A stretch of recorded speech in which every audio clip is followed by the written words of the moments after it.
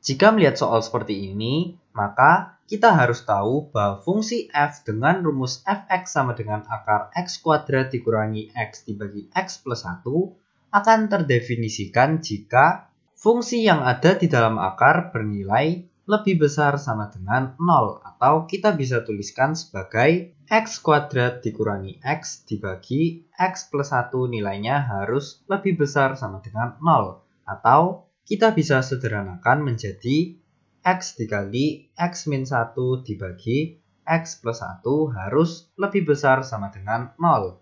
Lalu, kita akan mencari harga nolnya atau pembuat nol pada pembilang, yaitu X sama dengan 0 atau X sama dengan 1.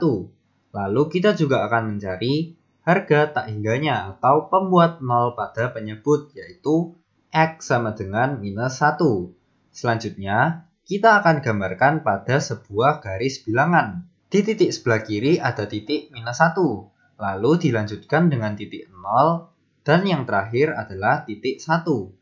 Titik 0 dan titik 1 menggunakan bulatan penuh karena tanda pertidaksamaannya adalah lebih besar sama dengan.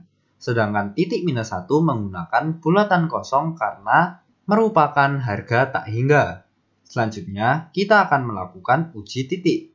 Kita akan gunakan titik X sama dengan 2. Jika kita substitusikan kepertidaksamaan yang ada di sini, maka akan menjadi 2 kuadrat dikurangi 2 dibagi 2 ditambah 1 atau sama dengan 2 per 3. Karena nilai yang didapat adalah positif, maka daerah yang memuat titik X sama dengan 2 atau daerah di sebelah kanan titik 1 akan memiliki tanda positif. Lalu karena akar-akarnya memiliki pangkat ganjil yaitu pangkat 1, maka tandanya akan selang-seling sehingga daerah di antara titik 0 dan titik 1 memiliki tanda negatif, daerah di antara titik minus 1 dan titik 0 memiliki tanda positif, dan daerah di sebelah kiri titik minus 1 memiliki tanda negatif.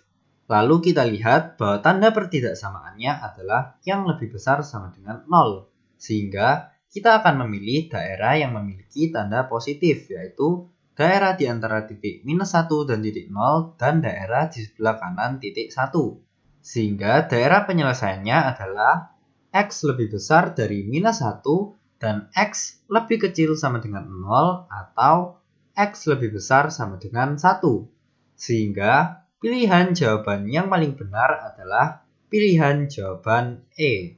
Sampai jumpa di pertanyaan berikutnya.